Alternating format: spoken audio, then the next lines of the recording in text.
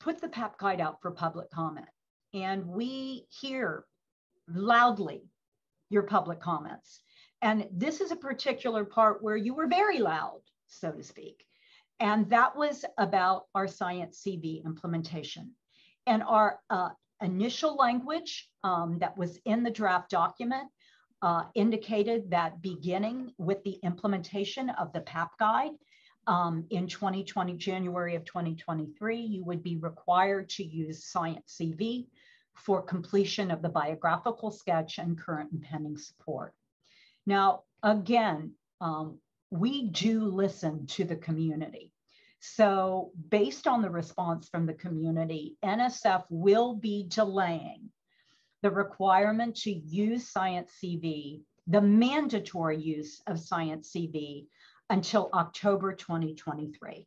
So, when we go live in January, you could use the revised biosketch in either SciENcv or the NSF fillable format, and the same will be true for current and pending support. It will only begin in October, and the language will be very clear in the PAP guide with regard to this issue that we will not be enforcing use of the mandate for SciENcv until October.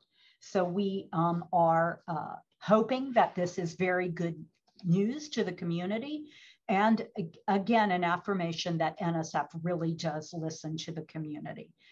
Beginning in January, however, the certification requirements by senior personnel will be required whether you're using SciENcv or whether the faculty member uses the NSF fillable format. So let me go on to some um, other changes to the PAP guide um, for 23-1. Uh, the first is GOALI. Uh, stands for Grant Opportunities for Academic Liaison with Industry. It is a proposal type and it's been there for, um, the program has been around for many years and it's been um, a part of the PAP guide for at least the last few years. Well, we're modifying GOALI this, this time, however, to permit non-SBIR, STTR small businesses to receive funding from a GOALI award. Now, previously, no funds from the grant could go to any of the for-profit entities. There are requirements that these small businesses will need to meet to be eligible. And in addition to the eligibility uh, requirements, which are clearly specified, the size of the subaward to the small business partner must not exceed one third of the total um, award budget. The proposal must disclose any financial interest with that PI or co-PI or senior personnel and or the institution of higher education have in that small business par partner and identify appropriate mitigation of any uh, potential financial conflicts of interest.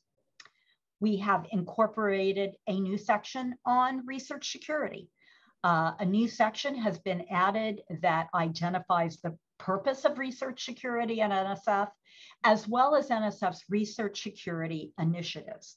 The coverage also highlights what NSF's post-award disclosure requirements are.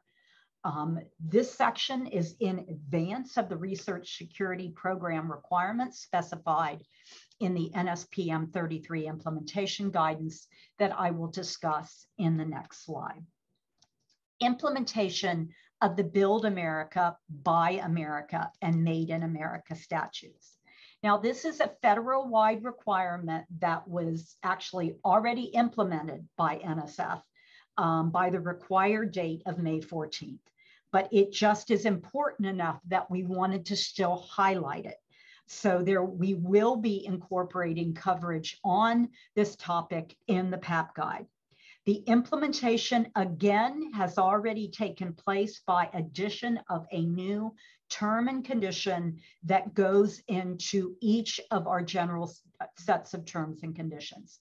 The bottom line for this is that all iron, steel, manufactured projects, and construction materials used in federally funded projects must be produced in the US. The awardee has to implement the requirements in its procurements, and the term and condition must flow down to all subawards and contracts at any tier. Again, you will see that the coverage is already there in our terms and conditions. If you have not yet noticed that, I would strongly encourage you to go in and take a look. Uh, incorporation of a new section on uh, scientific integrity. A new section on scientific integrity has been added to the PAP guide. Coverage on scientific integrity absolutely is not new to the PAP guide. What this added section does is now summarize NSF's expectations in the area of scientific integrity.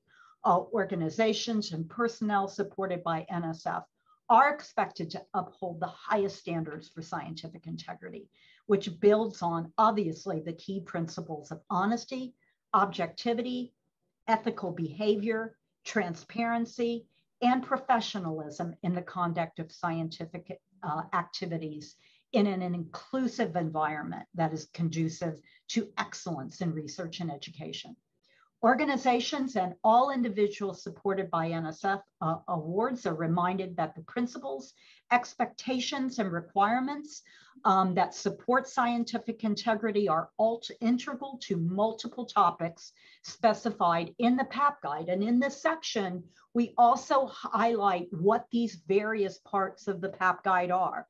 Things like human subjects, vertebrate animals, dual use research of concern, and the list goes on. And for the last set of bullets on this slide, there are going to be two new check boxes on the proposed um, cover sheet. Um, one is for uh, DURC, dual use research of concern, or potential life sciences dual use research of concern.